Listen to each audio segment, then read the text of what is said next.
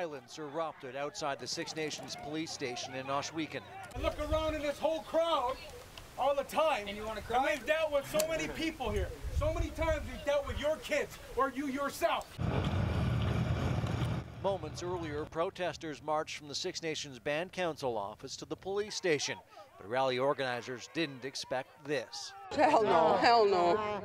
No, it was fine. It was everything was fine until Timmy Bomberry decided he wanted to voice his opinion, but he came out with such anger. Before the violence, the protesters delivered messages to both the elected chief and police chief Darren Montour.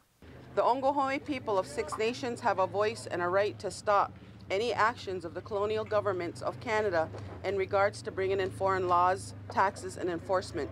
The group says the Band Council is trying to push through an 8% tax on cannabis and have the Six Nations police enforce it. But the Six Nations Cannabis Commission says that isn't true, that the rally was organized by owners of illegal dispensaries on Six Nations that are being shut down by police. You can't have that down here. You know, they're trying to take that last little bit of sovereignty that we have away from us and that's what we're fighting here today for. The protest started peacefully at first, but quickly turned violent, showing the anger and division within this community. It's a shame that this is us against them.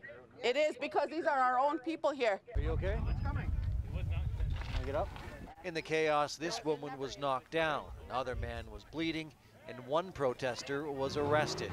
The police chief told CHCH News that he will reach out to the elected chief immediately talk with the elected chief and the council about this. Like, we don't need this happening every day in our community.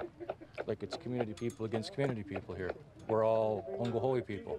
We reached out to elected Chief Mark Hill for a comment and were told that no statement would be made today. Adam Atkinson, CHCH News, Six Nations.